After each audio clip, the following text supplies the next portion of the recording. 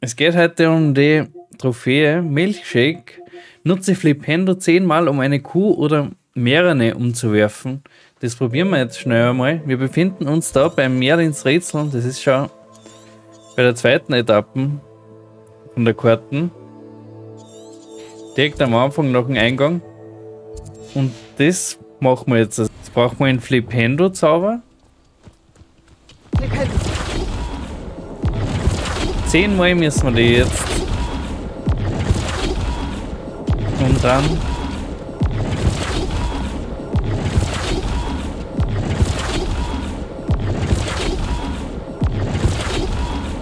So haben wir jetzt hier. Milchshake, da ist die Trophäe. Wir haben's.